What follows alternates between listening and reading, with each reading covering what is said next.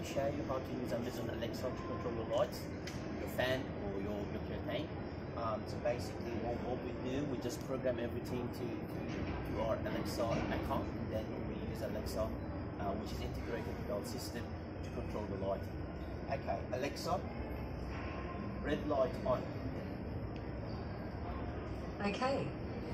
Alexa, green light on. Okay.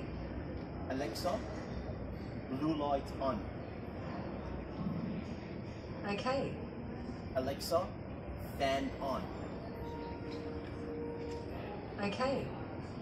Alexa, light on.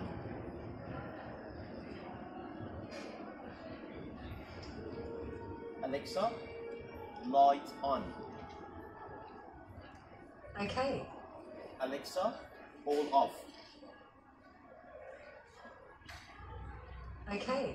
Okay, so as you can see, we can control pretty much everything here in our place with Amazon Alexa and Google Home. So, uh, in addition to the plates, you can use Amazon Alexa and Google Home with our system to control the lights. Thanks, guys.